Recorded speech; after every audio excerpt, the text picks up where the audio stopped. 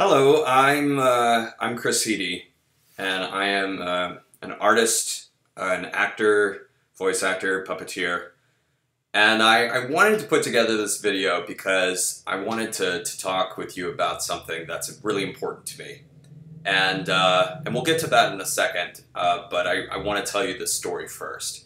It was 1992. I was five years old. And my parents took me to a toy store in Ocean City. And in that toy store, I found um, an action figure. It was a Lurch uh, from the Addams Family. And I really wanted this. I really wanted this action figure.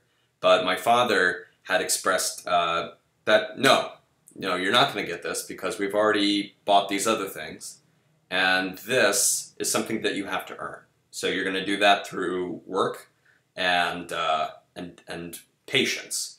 And to a five year old, that's like, an ungodly amount of time. That's a huge concept to try and wrap your mind around. Waiting. But so we go out to dinner that evening, and I'm sitting there and I'm drawing. And I, my parents, they could depend upon me drawing. That was something that I just did since the since nine months old when I picked up a pen for the first time. They could leave me in a corner and then come two to three hours later and I would still be there drawing. As long as I had enough paper and the pen didn't dry out of ink, I could be lost in my world. And that evening, I was drawing Goofy. Um, I loved Goofy. I still love Goofy. And, and so these two couples at the table next to us, they saw what I was doing. My mom tells a different, she says they're rich, they were rich doctors. So they look over and they say, "Oh, what are you drawing?" And uh, I said, "I'm drawing Goofy."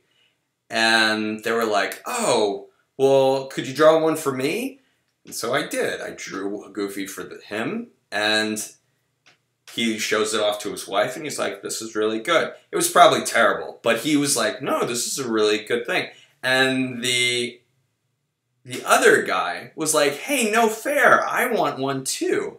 And they probably had a little too, much to drink. But I said, don't worry, this one is going to have Max in it, his son. So I drew Goofy again, and I drew Max, and I gave it to them.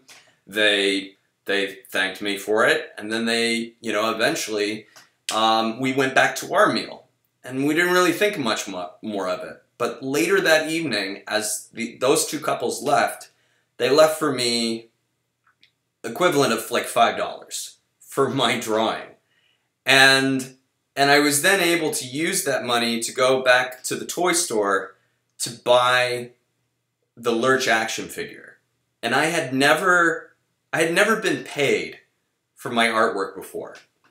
At, at the age of five, I um, and when they did that, they instilled in me this notion that my drawings I can I can use my creativity to purchase the things that I need.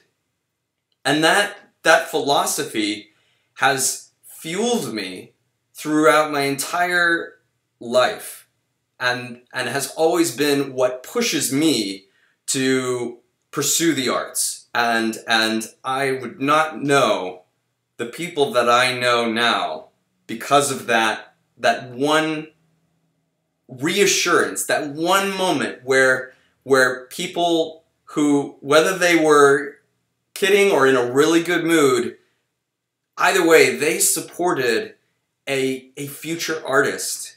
And that artist has gone on and and I, I went to the Savannah College of Art and Design and I um, pursued puppetry and all of those things are stuff that aren't necessarily surefire wins when it comes to what is going to be stable income down the road but it's what it's what I'm about. It's about it's it has been an emotional life raft throughout everything else in my entire life when uh, everything that every risk that I've taken when it comes to art has always been because of going back to that. This computer that I'm recording this with, I'm, I'm paying it off with art money.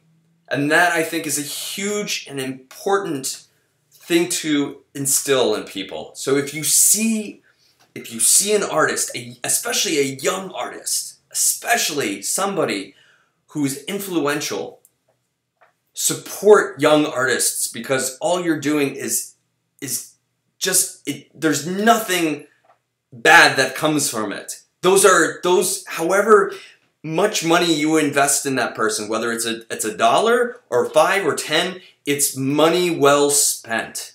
That person is going to go on and do amazing things for the world. We need our artists. We need people to be supported in that way. And art gives so much back to so many different people.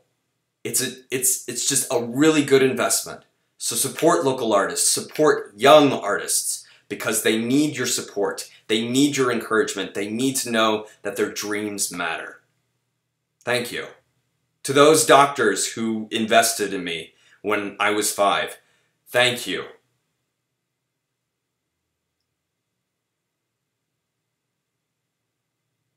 I hope you'll do the same.